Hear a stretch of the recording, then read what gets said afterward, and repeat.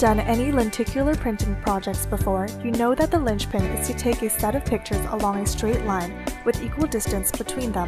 In the old days, we had to use different tricks to accomplish this. For example, mounting the camera on a slider track and adjusting the position of the camera manually. We had to take one picture, adjust it again, then take another picture.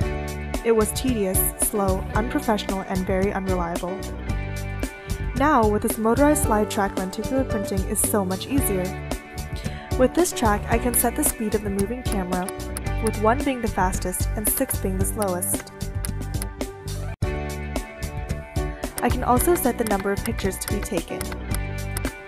In this case, I am setting it to the fastest speed and taking 25 pictures. As you can see, this is a shutter cable connecting the track and the camera. With the press of the start button on the track or on a remote control, the picture taking process will automatically start. You can hear the clicking sound and each click is a signal being fired from the track to the camera.